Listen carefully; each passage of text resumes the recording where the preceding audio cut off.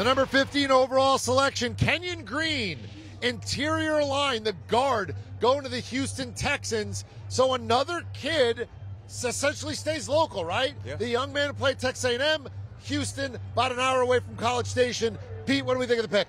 I like this pick a lot. I, this is a kid who's played tackle. He can play guard. I think they have a scheme versatility on their de- offense.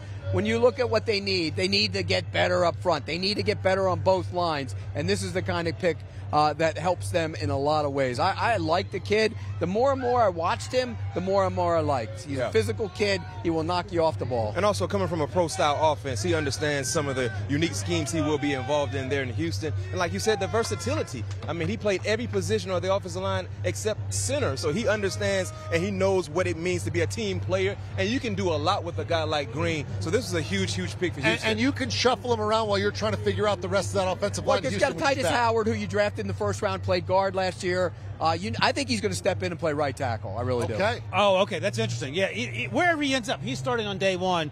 This also says Davis Mills is our guy.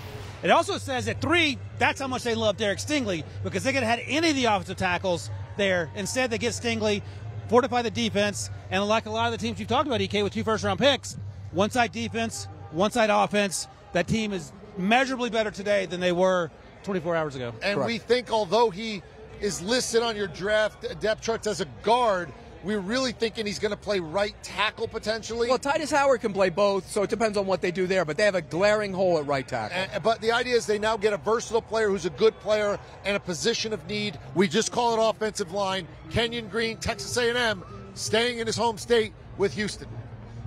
Do you want a sports network that delivers everything that matters about the game? The highlights, the picks, the instant analysis, no yelling, no fake debates, no politics.